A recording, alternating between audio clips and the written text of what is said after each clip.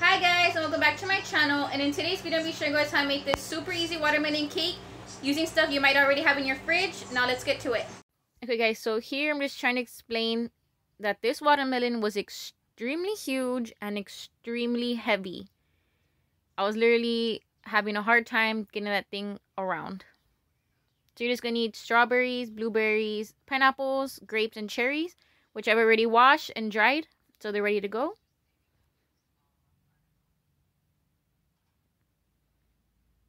Now on to the next step, cutting this watermelon. Oh my goodness, it was a hassle.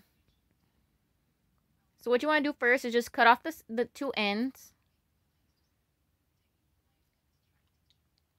Be very careful not to cut yourself. And you just want to level it off so you can stand it up on the bottom while you cut the tops.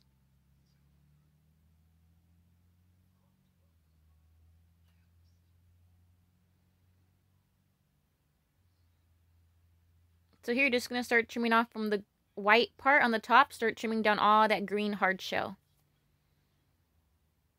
I found the easiest to go in long strides with the knife instead of like short little um, fast strokes.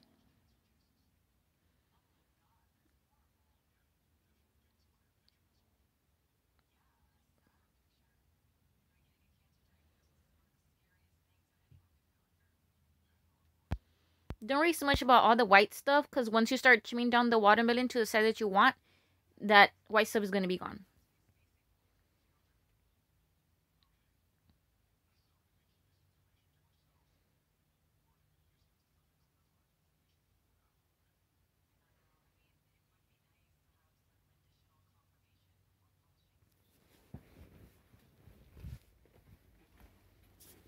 Now I'm just going to flip it around to the side and start trimming down all the edges.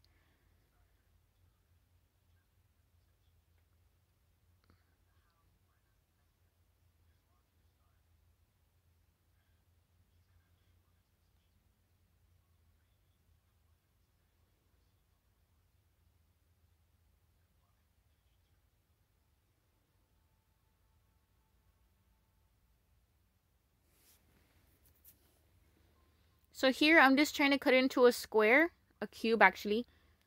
Okay, I've seen everyone do these type of cakes in a circle, like a regular cake, but I was like, no, I just I found it way easier just to cut into a square.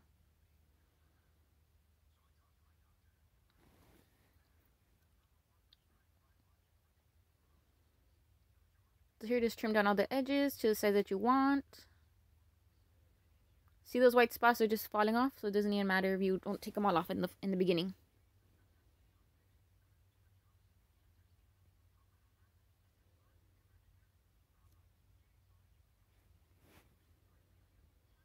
So here I decided to get my turntable for my cakes so it can make it easier for me to spin the watermelon around while I cut the top to level it out. If you ever done cake decorating, this is basically almost the same thing except a lot easier because the watermelon is not fragile like the cake is. Basically all the same principles apply. You just cut and level. That way when you place your next uh, layer of watermelon on top, it won't be falling off.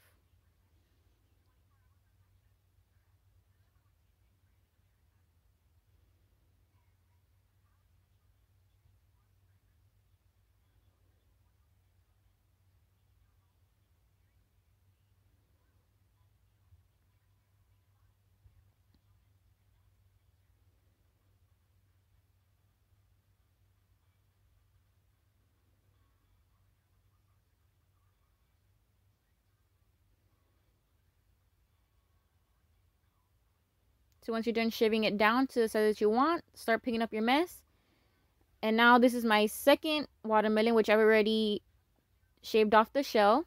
I'm just working on the white parts now.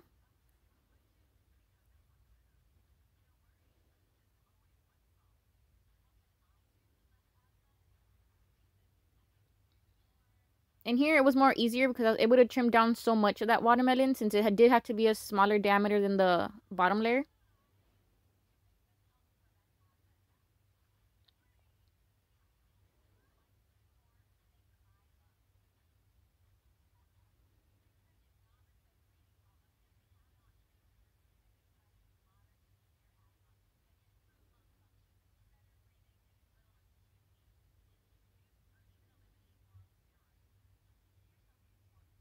And I found this to be the easiest way using a tray and a lot of napkins that we don't end up with a big mess all around your work area. And yes, my trays are from Easter. I had them just laying around.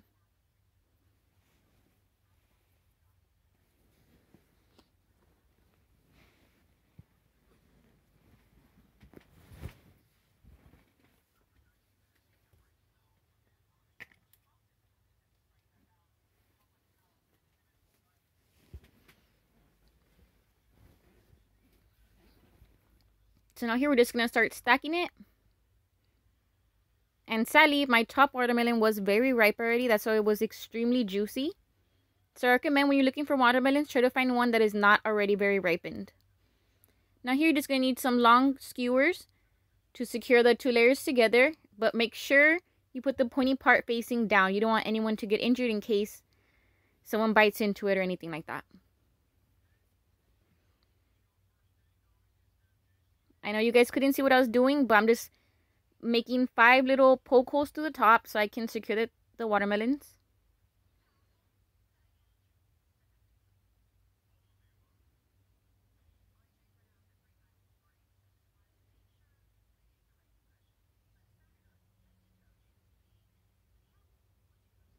And now you're going to need some toothpicks.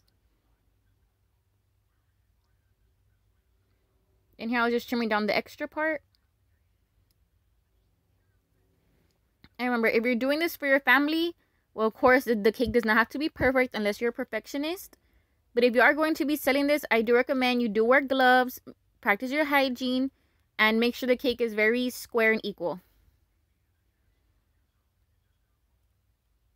So here are my vegetable fruits that I'm going to be using.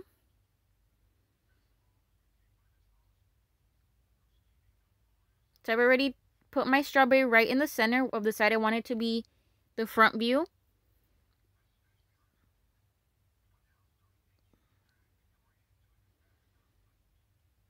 And I'm just going to stick them in around the strawberry. And you can do this cake with any kind of fruits, vegetables, whatever your heart desires, whatever you guys like. Personally, this is what me and my family liked. So this is just the fruits I went with.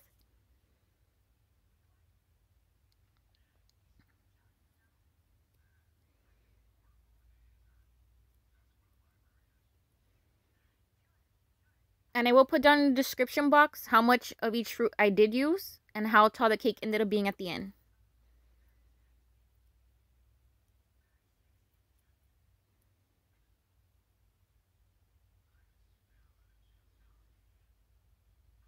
Make sure you just put the leaves down on the strawberry so you can give that nice green look to the whole cake.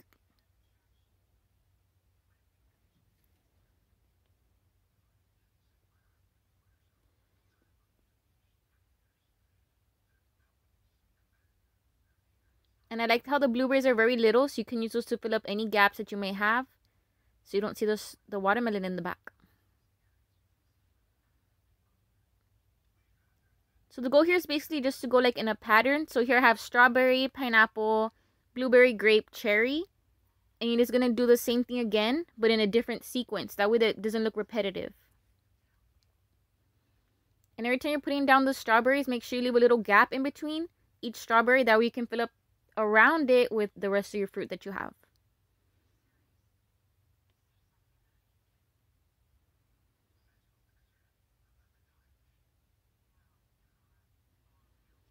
And when you're putting the pineapples, I like to put it with the short end with the toothpick. That way the fluffier part can be taking up more space from the top view.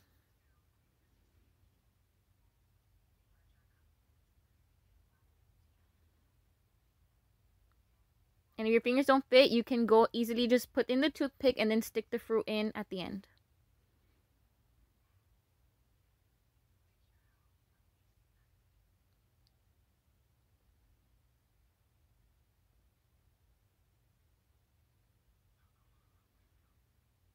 And don't worry, the fruits will not fall off since the watermelon is very sturdy. It's not like cake.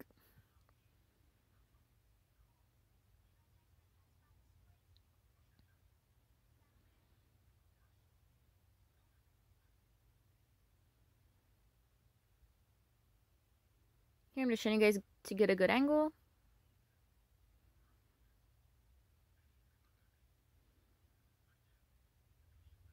And with these cherries, you do have to poke them at an angle because they do have seeds inside. And try to poke it in the same hole because then you end up with a big leaky mess.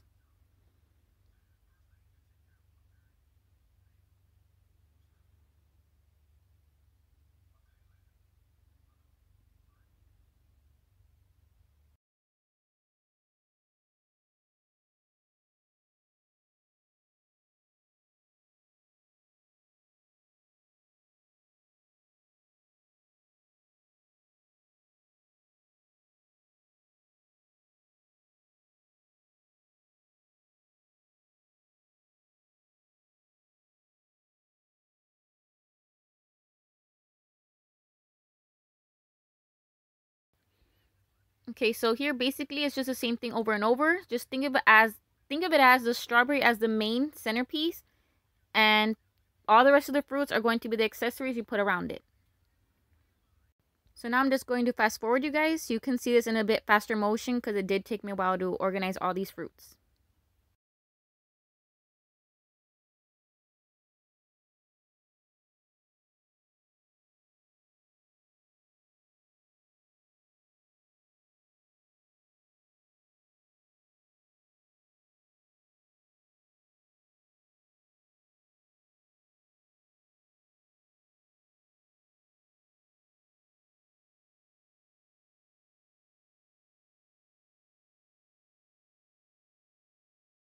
Okay, so now we're going to be starting the top layer. So here I'm just checking which strawberry fits best in the sequence. And I'm just going to start continuing the rest of the process going up. And here we're just going to start doing like an S shape form. That way it looks like it's wrapping around the cake.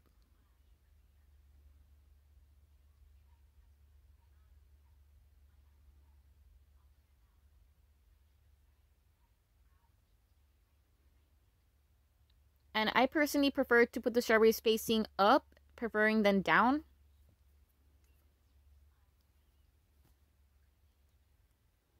But you can put them either way.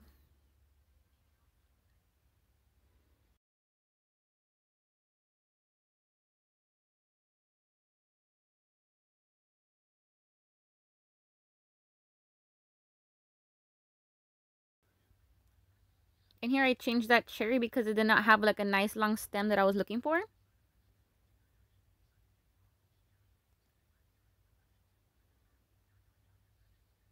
And you can make the fruit line a lot thicker. Personally, me, I just preferred it more thinner because it was not that many people that it had to feed.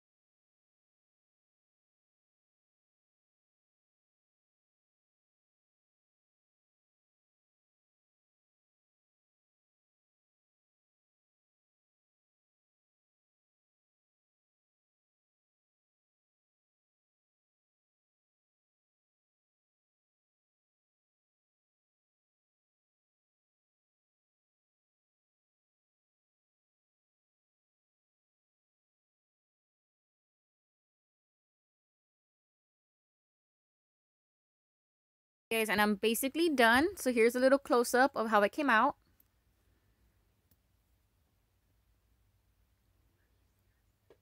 And to see what I did with all the leftover watermelon, head on over to my Instagram.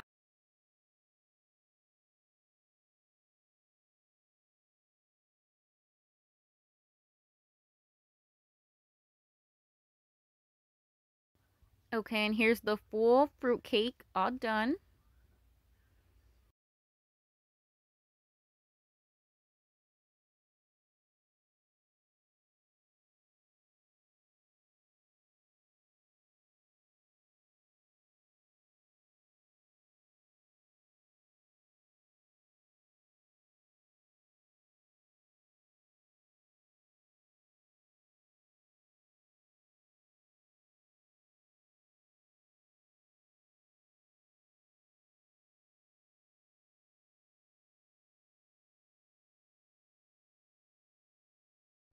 Okay guys, and that was it for today's video. I hope this was helpful. And don't forget to like and subscribe to get notified every single time I post a new video. And thank you for watching.